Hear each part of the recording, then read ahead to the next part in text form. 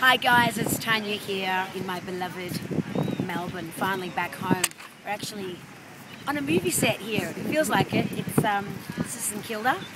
Um, about a stone's throw over there I, I kind of live. Sun's almost setting. Camera shot now, thank you. and uh, this is the quintessential hot Melbourne summer night. When Melbourne turns it on, we turn it on. And now I feel like a weather girl.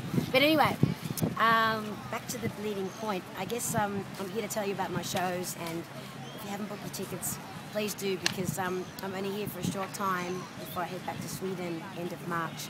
Uh, we're kicking off in Sydney, Bondi, February 8th, and uh, Danny Spencer and I uh, going to go to Cronulla, Brass Monkey, and then we're at the Clarendon Guest House, Katoomba, and the Burning Log in Douro.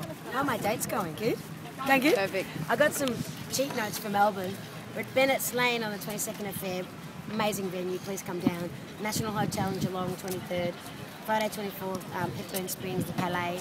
Get yourself a massage beforehand. Um, at the Wesley Anne Northcote on the 25th.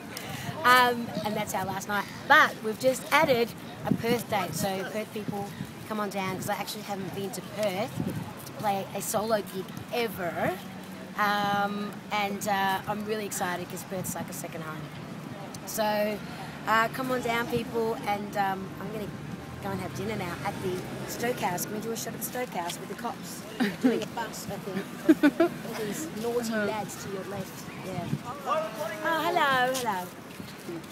Mwah. Website. Thanks, everyone. Oh, yes, and taniadoko.com for details if you didn't get all that info just now. Thank you. Bye.